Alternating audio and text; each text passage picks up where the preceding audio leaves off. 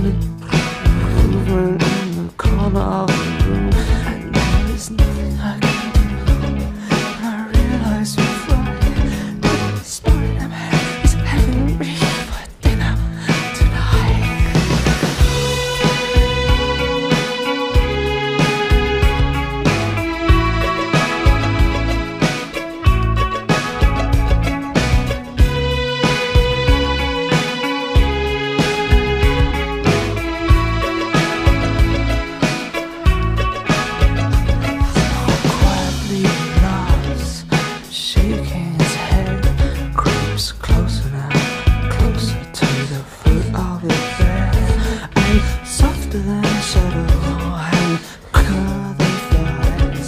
His arms all around me and his tongue in my eyes.